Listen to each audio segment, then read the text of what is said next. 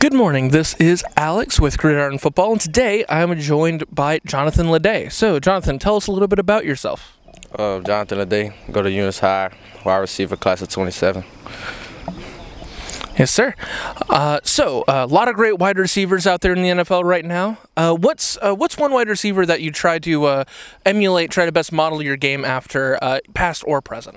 Uh, I'll probably say Keon Coleman. I like Keon, not gonna lie. Great player, absolutely great player. I think everyone's excited to see you know what what he does out there uh, with the Bills. So, uh, it's hot early in a Friday morning, middle of June. What, what's what's a reason? What's the biggest reason why you come out here? What drives you uh, to come out and compete in the middle of the summer?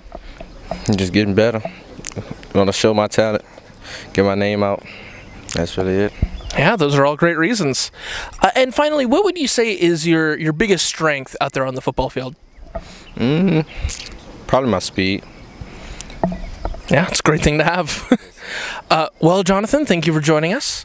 Uh, and this was Alex Allison with Gridiron Football.